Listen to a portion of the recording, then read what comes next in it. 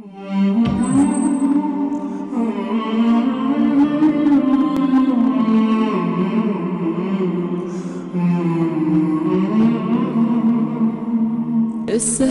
والجمال.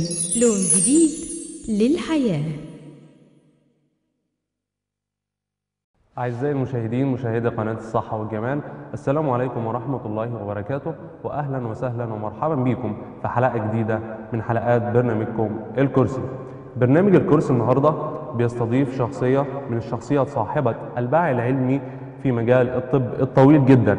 معانا النهاردة خلوني قبل ما أبدأ أولى فقرات برنامجنا النهاردة خلوني أرحب باسمكم بضيفي وضيفكم في استوديو الهوائي مباشرة. الدكتور مجدي طلعت ناثان استشاري ورئيس قسم الكلى بمستشفى دار السلام العام. أهلا وسهلا ومرحبا بك يا دكتور. أهلا بحضرتك. كل سنة وحضرتك طيب. حضرتك طيب. سيبني برضو وأنا التاني أسلم على السادة المشاهدين. اتفضل يا دكتور. وبرضه أسألهم زي كل مرة لحقتوا تنسوني؟ إحنا كنا مع بعض من شهر. كل سنة وأنتم طيبين الأول. وعارف إن حضراتكم صايمين ومش هطول عليكم وهنقول كلمتين كلام بسيط. عشان ما يبقاش ال- ال- الحلقة دمها تقيل إن شاء الله. إن شاء الله يا دكتور. دكتور مجدي حضرتك. جاهز؟ اتفضل. جاهز. حضرتك جاهز. أعزائي المشاهدين يلا بينا نطلع نشوف أول فقرة معانا النهارده طب في برنامج الكرسي وكورس الدراسة. هستأذنك قبل ما نبدأ كورس الدراسة. اتفضل يا دكتور. آه، أنا عارفك هتتكلم عن قصة نجاح شخص. هم ما يهمهمش قصة نجاح شخص ما دام ما بيفيدش الآخرين. فالنجاح يبقى نجاح. لو الشخص الناجح نجاحه بيعود على الآخرين بفايدة. غير كده ما اسموش نجاح. تمام يا دكتور بمناسبة برضو النجاح اللي ليه فايدة على الآخرين قبل ما انسى عشان الحلقة اللي فاتت نسيت أقول برضه آه، إحنا بنفتح وحدة غسيل كلى أطفال ودي في القاهرة يتعدوا على الصوابع. الكلام ده كان أدينا من أربع خمس شهور عمالين نحلم بالموضوع ده مش عايز يخلص. فبرضو آه، بعد إذن ال- ال- البرنامج لو إحنا في شهر رمضان وال- والسادة ال- الأفاضل اللي ممكن يتبرعوا في شهر رمضان إحنا محتاجين مكن غسيل مكن غسيل عشان نفتتح وحده غسيل كلى الأطفال في المستشفى العام. كلام حضرتك مندرج داخل فقرات البرنامج الأول. لكن خليني أبدأ معاك الأول أولى فقرات البرنامج زي ما قلت لحضرتك وعرفت السادة المشاهدين. تمام. أول فقرة معانا النهارده هتكون فقرة كورس الدراسة.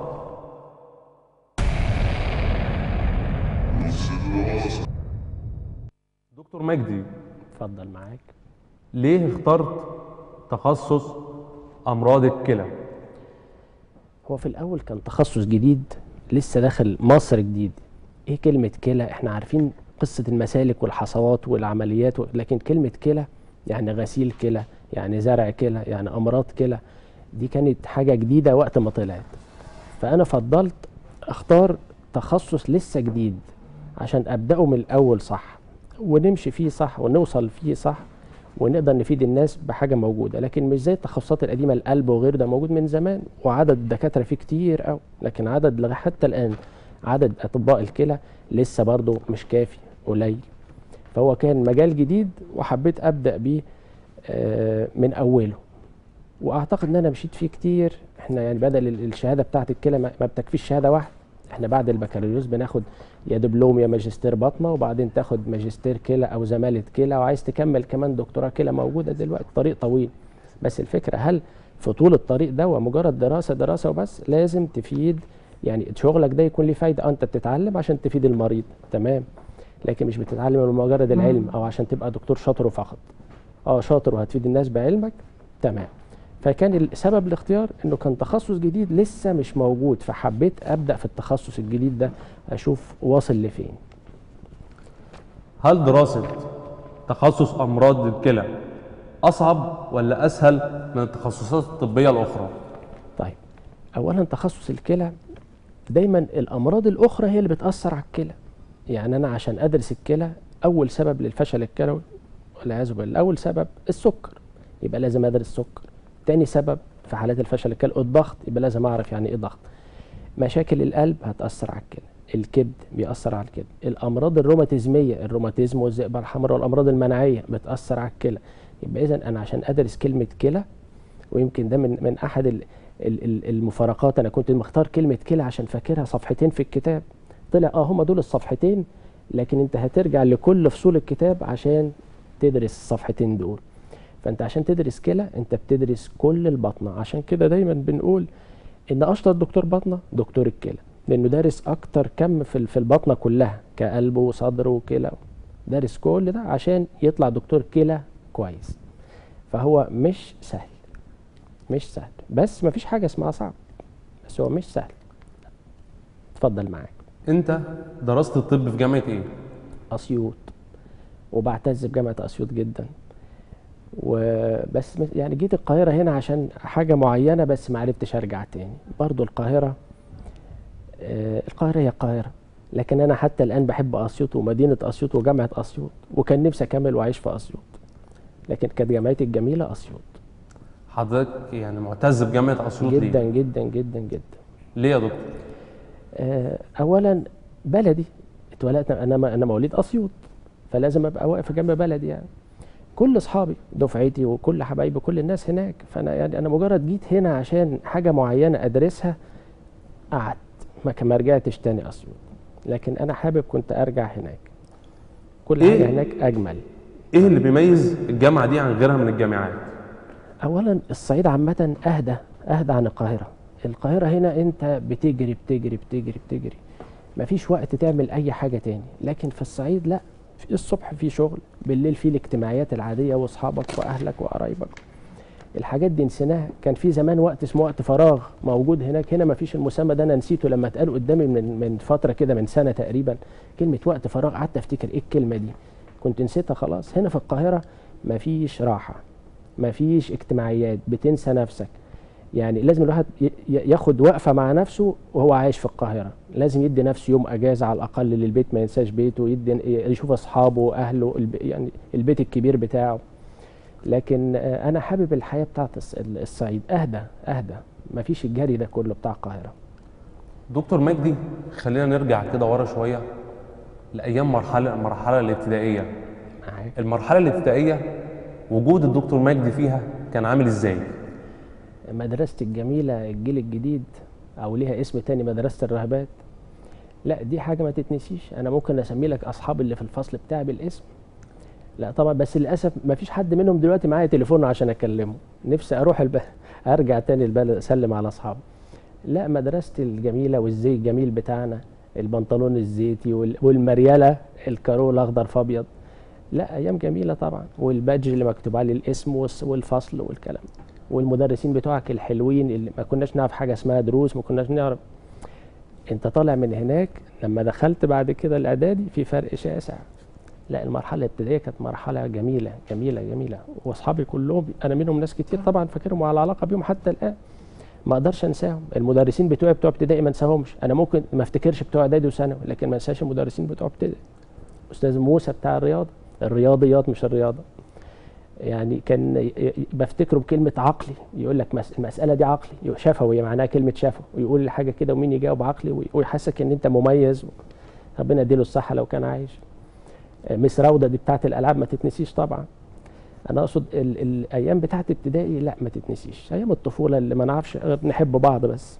لما كبرنا شوية بقى في حاجة تانية غير كلمة نحب ما كانتش موجودة في ابتدائي. فأيام ابتدائي دي ما تتنسيش.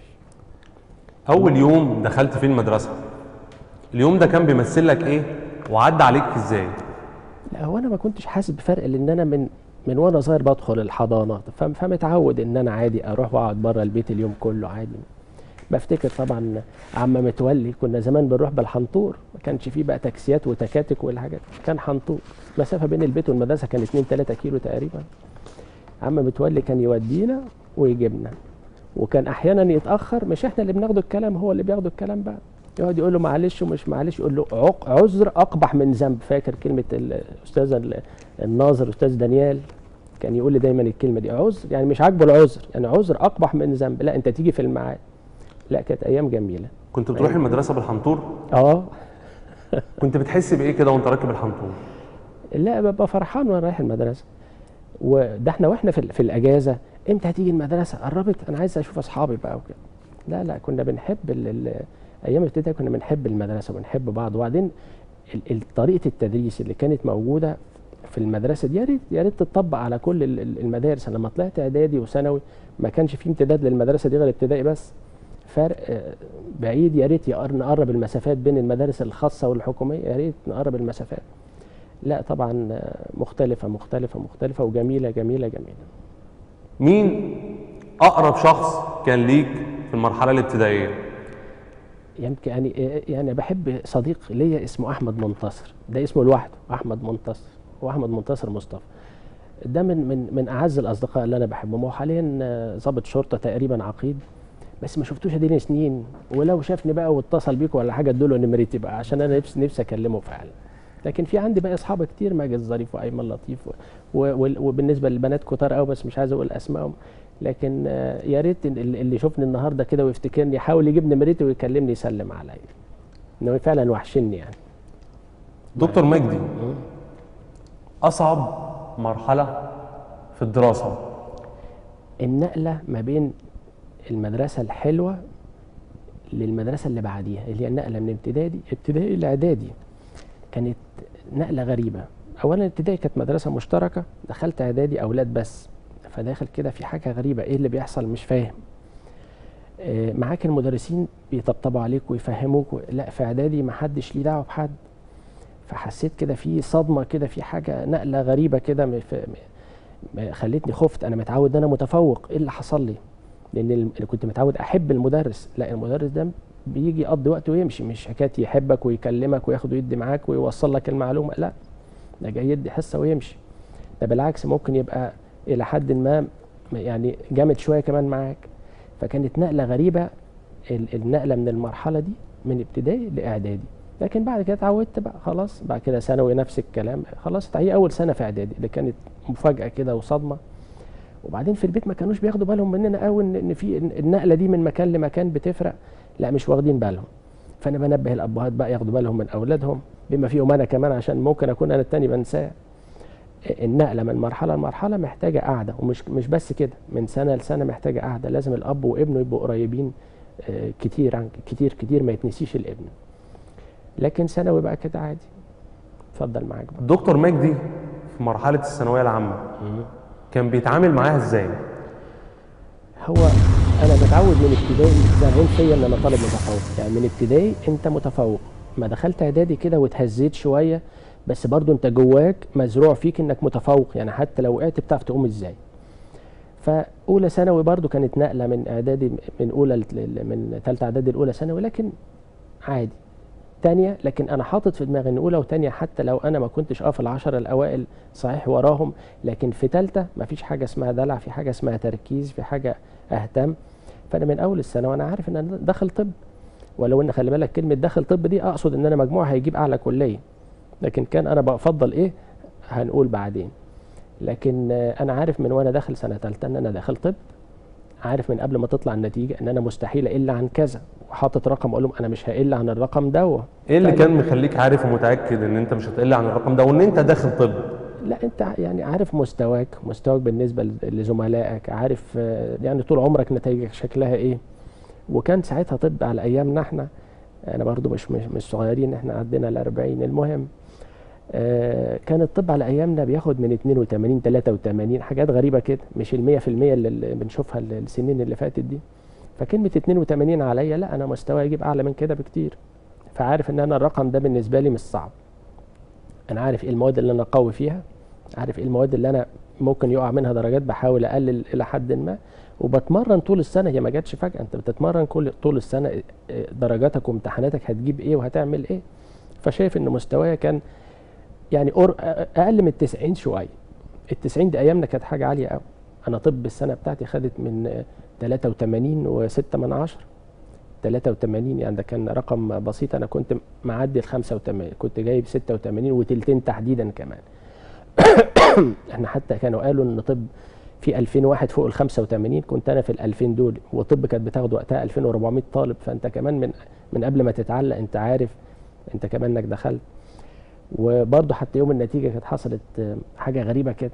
كان الزملاء راحوا سمعوا النتيجة 78% قلت لهم لا أكيد اللي بيقرأ قرأ غلط بدل 78 هي 87 يعني برضه ما تهزتش. قلت لهم لا لا لا اللي قرأ النتيجة ده غلطان هي 87 هي فعلا كانت 86 وتلتين. دكتور مجدي معاك. رأيك إيه في سياسة الضرب في المدارس؟ آه، آه، يعني أنا أرفضها تماما ولو إن ولو إن ما انكرش إنها كانت بتجيب نتيجة كويسة. لكن عمرك اتضربت لا عايز أقول آه طبعا. بس عايز أقول في فرق بين المدرس اللي بيضربك عشان تخاف عشان تذاكر وبين اللي بيضربك عشان هو مريض نفسيا أو بيضربك عشان يعورك أو بي أو بيضربك عشان يتعبك نفسيا. ده في مدرسين مؤذيين. بيضربك عشان يكسرك نفسيا. أنا بتكلم عن اللي بيضرب عشان اللي هو يعني بيخليك للأحسن اللي هو النقد البناء. لكن في النسخ الثانية موجودة كتير. فكلمة الضرب للنقد البناء أنا معاه. يعني أنا مرة مثلا مدرس ضرب ابني في الفصل سألته إيه السبب؟ قال لي عشان كذا وأنا عايزه يبقى كذا أنا ما اتكلمتش. قلت له أنا معاك. إنما عشان ضرب لمجرد الضرب أو يعلي صوته عليه أو يكسر نفسيته لا طبعا مرفوض. فهي حسب أنت بتستخدم الضرب ليه. أنا كان مثلا مدرس يجي يسمع حاجة بالعصاية أنا أكون ما ذاكرتها ما, ما حفظتهاش. على ما يجي عندي أكون حفظت الشويه اللي هيقولهم لي. بسرعة كده على ما يجي دور حرف الميم الحمد لله. حرف الميم ده ورا. ودي ميزة. على ما يجي دورك على الأقل في قدامك عشرة. تكون لحقت قريت الموضوع اللي انت ما ذاكرتوش أساسا. في ثانية. خوفا من العصاية تحفظه في ثانية. على ما يجي دورك تلاقي نفسك تقوله له بال- بالنص. ما تتضربش بقى. يخش على اللي بعديك بس لا مهمة. بس زي ما قلنا كنقد بناء. حضرتك قلت إن أنت اتضربت قبل كده. عشان تأخير. عشان ممكن شقاوه لو إن أنا ما كنتش طالب تلميذ شقي أو طالب شقي بس ممكن يبقى وسط ال- الزحمة كده حتى هو يقول لك السيئه تعم. طب أنا ما غلطتش هو مش عارف مين ما غلطش. بس يروح ضارب الكل. يعني أنا بتاخد في الرجلين سيئة تعم أو بالصدفة اتأخرت ومش أنا اللي بتاخر الحنطور. لكن إلى حد ما أنا بعمل اللي عليا عشان ما أتضربش. إلى حد ما بحاول أكون ملتزم ومتفوق أو ناجح في بحب أكون ملتزم. معاك. أكتر مادة حضرتك كنت بتحبها؟ آه، الرياضيات على الإطلاق. دي ليه؟ الماده لأن أنا دي اللي بتفرق بيني وبين زميلي. أنا أدخل طب إزاي؟ إلا لو امتحنا امتحان رياضة. ما لو امتحنا امتحان مواد اجتماعية هو يخش طب ولا لأ. فايه الفرق بيني وبينه؟ آه، ربنا مدينا نعمة إن أنا شوية شوية فهم مميز عن الزملاء. طب أنا كنت بحب الامتحان يجي صعب عشان أنا عارف إن سهل صعب أنا مش هتقع مني درجة في الرياضيات. بس مش الرياضيات بس الرياضيات والفيزياء والكيمياء الحيوية المواد اللي فيها فهم.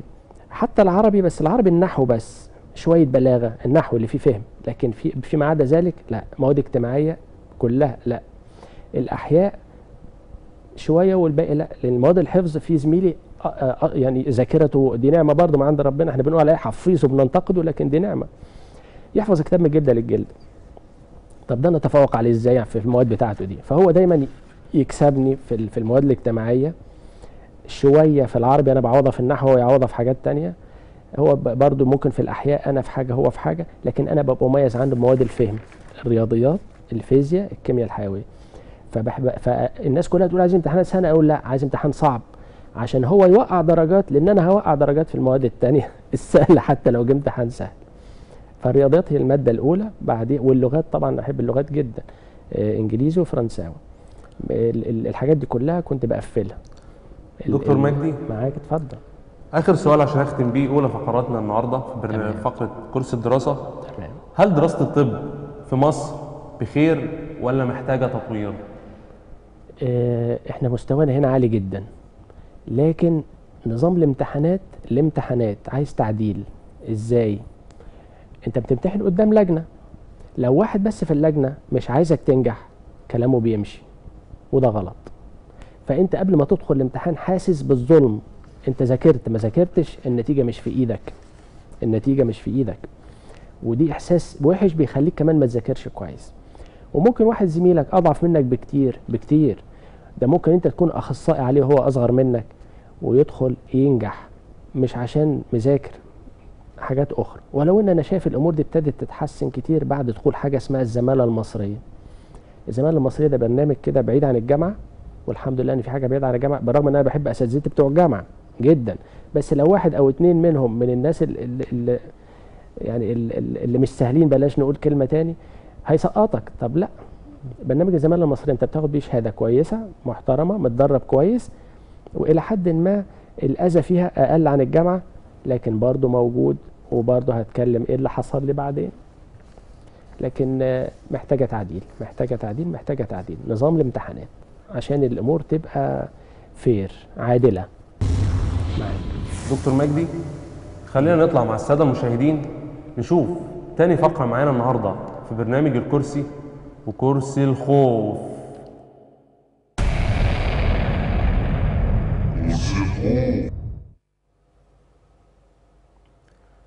دكتور مجدي إيه أكتر حاجة بتخليك تخاف في شغلك. الخوف والرعب بتعمل الامتحانات. طول ما أنا عندي امتحان أبقى واحد تاني خالص. خالص لدرجة ممكن ما أروحش العيادة عشان بخاف على عينين مني. يوم الامتحان برجع لطبيعتي. الرعب بتاعي الرعب بتاع الامتحانات. عشان كده ممكن تلاقي دكاترة كتير عندهم ضغط وسكر من كتر الامتحانات بتاعتنا. فأكتر حاجة ترعبني. غير كده مفيش حاجة بخاف منها. يعني خالص مفيش أي حاجة لا في شغلك لا. خالص؟ لا لا لا خالص خالص خالص. هي الامتحانات أكتر حاجة حضرتك دي اللي ملهاش حل لأن أي حاجة تانية ممكن أخلي حد يحلها لي. آه، طبعا في مشكلة تانية بس الحمد لله إحنا بعيد عنها. آه، آه، الديون دي حاجة وحشة. إن حد إن يكون عليك قضية حتى لو أنت على حق دي حاجة مؤذية. بس كل دول جنب الامتحان ولا حاجة. أنا بس بتكلم عن إيه الحاجات تاني اللي ممكن تبقى مخلياني مش مرتاح نفسيا؟ معاك إمتى يبدأ الخوف جواك على مريضك أنا بخاف على مريضي من أول ما استلمه لأن كوني استلمته كوني شفته كده معناه إنه بقى ملزم مني. ما ينفعش أسيبه إلا لما أنا أبقى مرتاح. إنما لو ما كنت شفته من الأول ما أعرفش عنه حاجة ما فيش عن- يعني أنا ما عنديش إحساس بالذنب. لما أكون استلمت المريض ما أقدرش أسيبه إلا لما يكون مستقر. لما يكون مستقر. مستقر. لو ما كانش مستقر. مش هسيبه. وان نشيت هسلمه للي بعديه بالتفصيل وبالحذافير وبالنقط المهمة وتركز على كذا ونعمل كذا وخلي بالك من كذا. ده طبع. هقول حاجتين. هو طبع إن أنا بحب آه، أو مش بحب أنا بخاف على المريض بتاعي. نمرة اتنين أنا بحب أكون ناجح في شغلي. كلمة ناجح مش معناها مذاكر وأسمع. معناها المريض بتاعي يستفيد بعلمي. نمرة ثلاثة أنا بب- ببقى مبسوط قوي اما المريض يعدي. كانت حالته صعبة فعلا لكن ربنا كرمه ووجهك ونبهك لحاجة معينة شخصته كويس واهتميت بيه وعدى والمريض يبقى فرحان بيك إن أنت شخصته وارتاح من التعب اللي هو فيه. دي متعتي دي هوايتي حاليا. أنا هوايتي الحالية الطب فقط مش الطب أذاكر. الطب إن أنا أشوف العيان وأشخصه وأعالجه وأبقى مبسوط بيه بعد ما اتشخص وتعالج. إزاي بتقدر تنتزع الخوف من قلب مريضك؟ الحمد لله دي نعمة من عند ربنا. مرضى كتير ما أعرفش ليه بس دي الحمد لله يعني. بيقول لي أنا مجرد بس شفتك كده ضحكت في وشي خلاص أنا خفيت. بصدقهم بصدقهم وخلاص. بس فعلا المريض مش محتاج منك أكتر من ابتسامة وحتى لو اللي عنده إيه بسط له الأمور أصل مش هتفرق العلاج واحد أنت هتقعد تكركبها فوق دماغه ليه بسط له الأمور وإن شاء الله ربنا يكرمه بس بتفرق على المريض المريض قوي قوي قوي الحالة النفسية. إزاي بقى بتعرف بقى تنتزع من كل مريض الخوف من جواه؟ يعني مريض الحالة النفسية إزاي بتنتزع من جواه الخوف؟ المريض بتاعك بتا... إزاي بتعرف تشيل كده الخوف من جواه؟ بحيث إنه يكون داخل عندك يكون حاسس إنه مرتاح في قابلية. المريض بيدخل تعبان. بيقعد بس بيشوفك بتضحك في وشه ابتدى الألم يهدى. بتاخد وتحكي معاه تسمع منه كلمة فهمه إنها ملهاش لازمة. يعني يقول لك أنا قلبي بيوجعني. طب يا عم سلامة قلبك.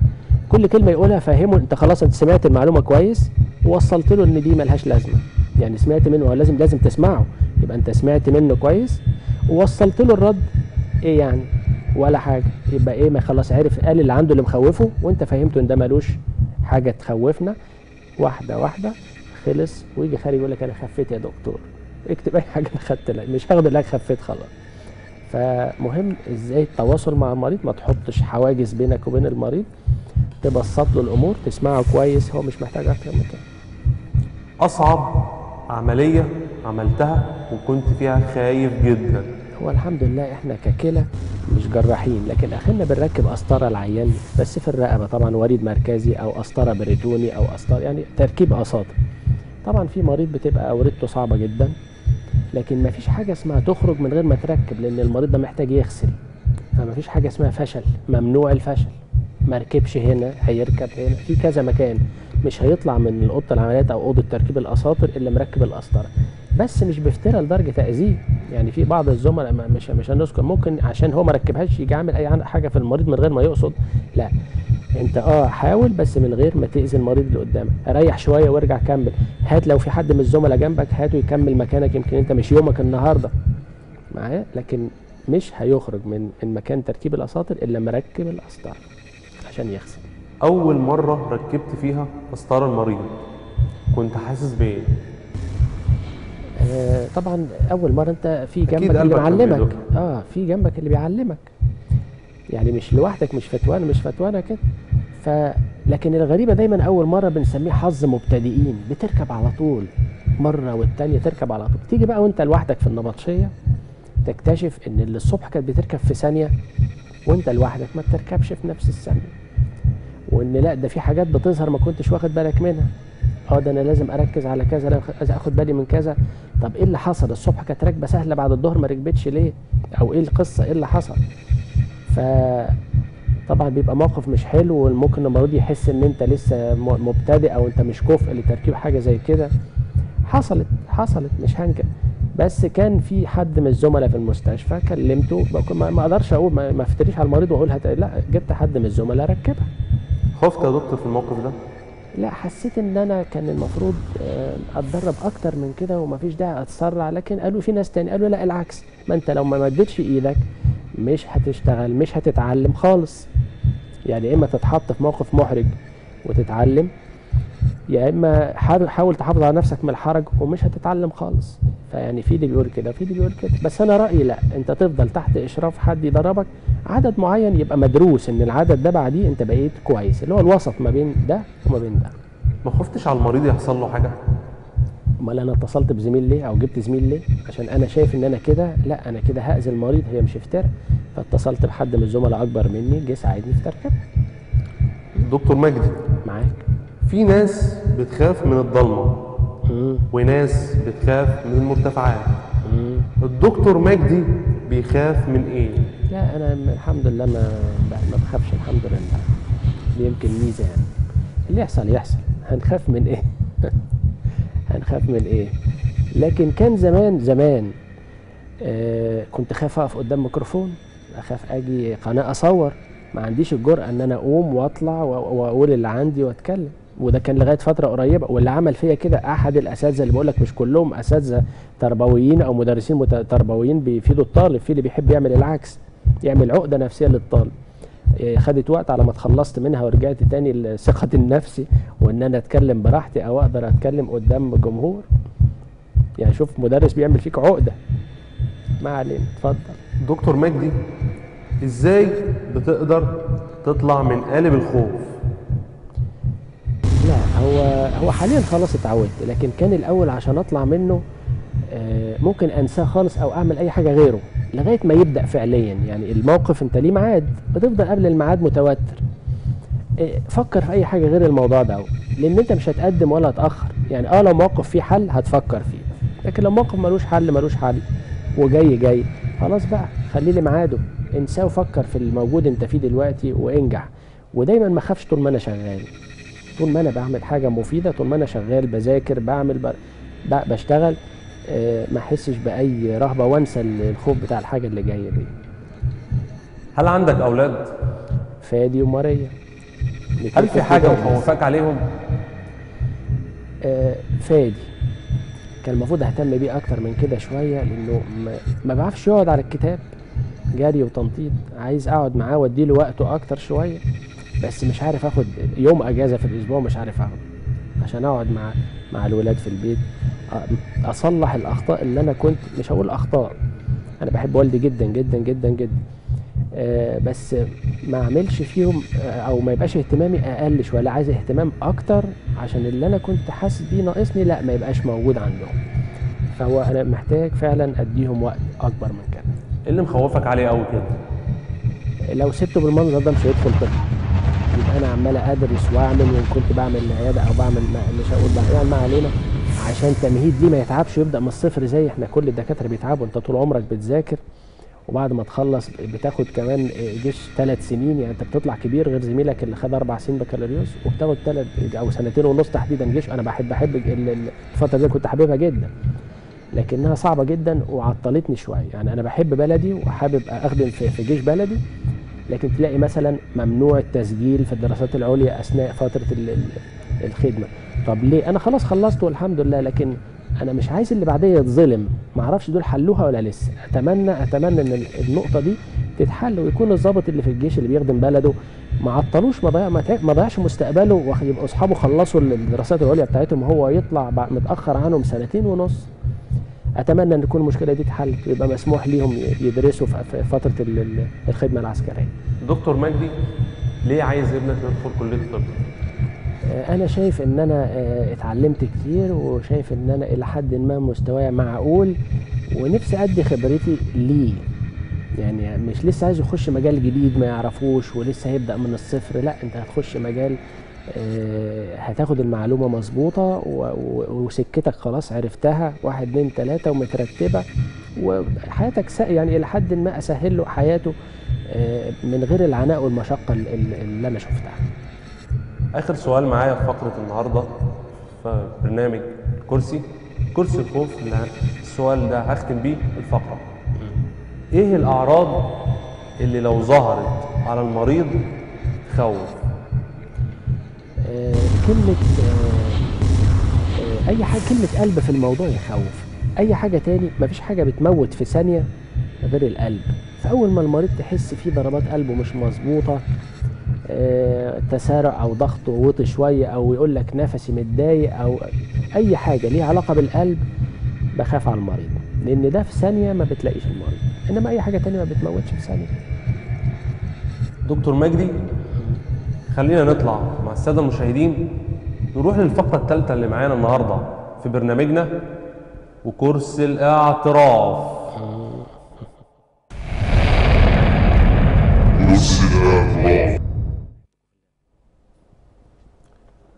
دكتور مجدي لما بتقابل حالة ميؤوس منها هل بتعترف للمريض بكده؟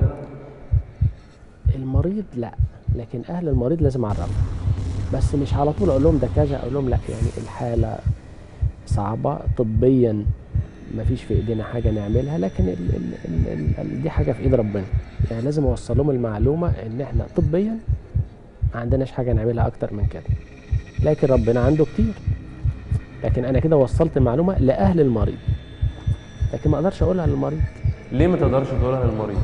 لا لا ما صعبة صعبة صعب أقول لمريض أنت خلاص في حالة متأخرة وقدامك أيام كده؟ كلام صعب.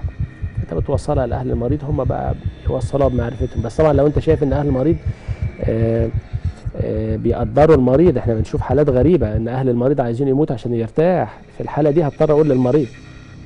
يعني للأسف بنشوف حالات كتير كده. أهل المريض مش عايزينه. ففي الحالة دي بكلمه هو.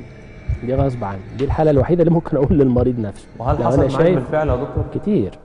لو أنا شايف إن أهله مش عايزينه مش مهتمين بيه ما يهمهمش لا بوصل له هو المعلومة عشان يبقى عارف ال- الأمور ماشية إزاي. كان رد الفعل المريض إيه يا دكتور في الحالة دي؟ ما أنا بقولها لوش كده أنت هتموت. لا أنا بقول له أخبارك إيه؟ آه صليت ولا ما صليتش؟ أخبارك ب... ب... فينك من ربنا؟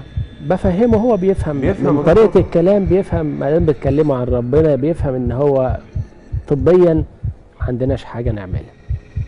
بس يبقى وصلت له المعلومة بطريقة حلوة. هو بقى سأل سؤال واضح ههز دماغي. ما أقدرش أجاوب أكتر من كده. دكتور مجدي هل في حاجة حاسس إن أنت قصرت فيها؟ أنا بحاول ما أقصرش لكن طبعا وارد أي حد يبقى مقصر في أي حاجة. ممكن بسبب إجهاد بسبب نسيان أنا من من من كتر ال- ال- الاسترس والشغل ممكن أنسى. فآه ده نوع من التقصير نسيان نوع من التقصير.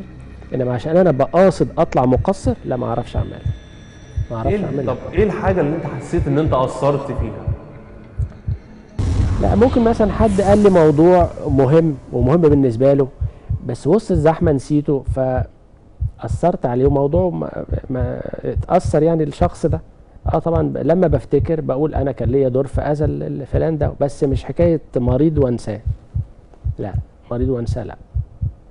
هل في سر مخبيه جواك وممكن تعترف لنا بيه؟ هو- هو مش سر قوي أنا في شغلي بحب شغلي جدا لدرجه لدرجة عايز أقول لك بعض الناس في الشغل الحكومي يقولوا عليا ده باين عليه هنقول طيب هنقول طيب. هو يعني إيه بيجي كده ومهتم بشغله ليه؟ وبيجي على فكرة أنا أنا في المستشفى العام بتاعتي كل يوم هتلاقيني رايح كده. أنا مش جاي النهارده عشان الحلقة. إيه هو الراجل ده ماله؟ هو مبسوط كده ليه؟ هو يعني فاكر نفسه جاي فين دي مستشفى الحكومة أو مستشفى العام أو يعني إيه اللي مخليه مبسوط؟ على أنا من النوع اللي يعني ما أحبش أعكنن على الناس اللي معايا؟ أحب دايما أبقى مبتسم كده حتى لو الظروف مش حلوة يعني. لدرجة ممكن يعني في ناس كانوا بيتريقوا عليا هو آه، فاكر نفسه فين؟ هو مرتبه كام؟ هو بيعمل إيه؟ الراجل ده ماله؟ المهم أنا برضو بقعد أقول طب أنا بحب أهتم بنفسي كده ليه؟ بحب أضحك في وش المريض كده ليه؟ طب أنا عايز المكان بتاعي الاسم بتاعي اللي هو اسم الكلى يبقى ناجح ليه؟ طب أنا عايز أزود المكان ليه؟ طب أنا عايز أفتح وحدة كلى أطفال ليه؟ لا ده أنا عايز أعمل ما هو أعلى من كده زي زرع الكلى مثلا في المستشفى عندي وأي حاجة في تخصص الكلى عايزها تبقى موجودة عندي. يعني عايز التخصص بتاعي ما يبقاش فيه حاجة ناقصة.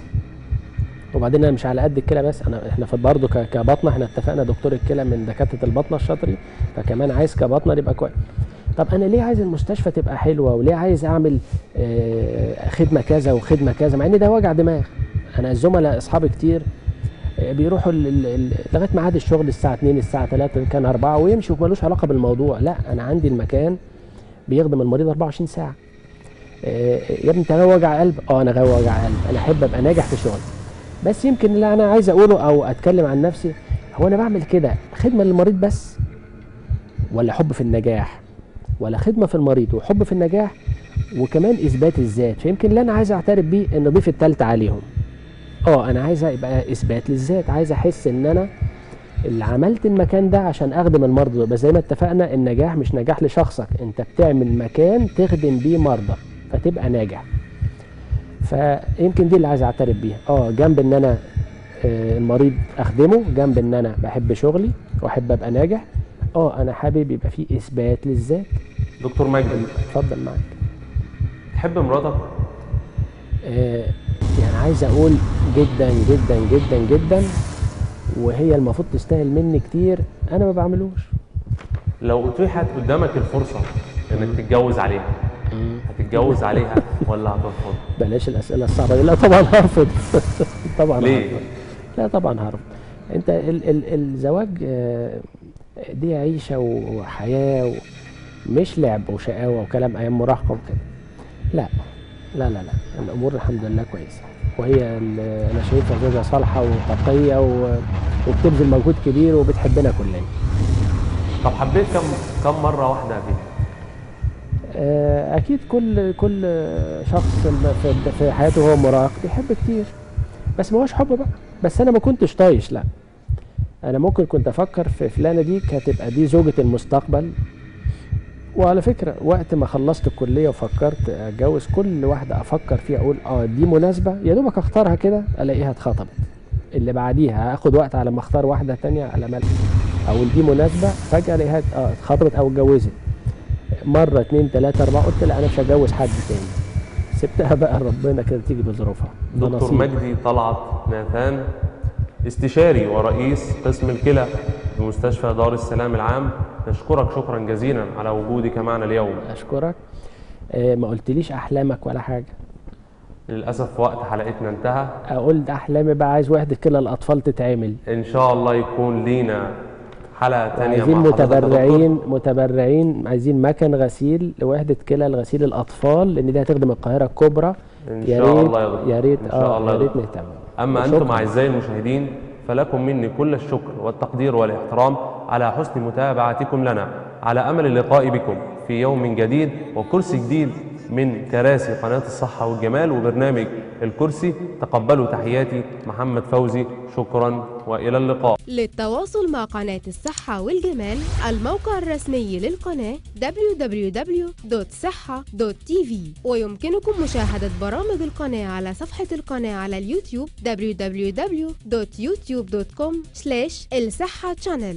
وتابعوا صفحتنا على الفيسبوك www.facebook.com الصحة tv وعلى تويتر www.twitter.com الصحة tv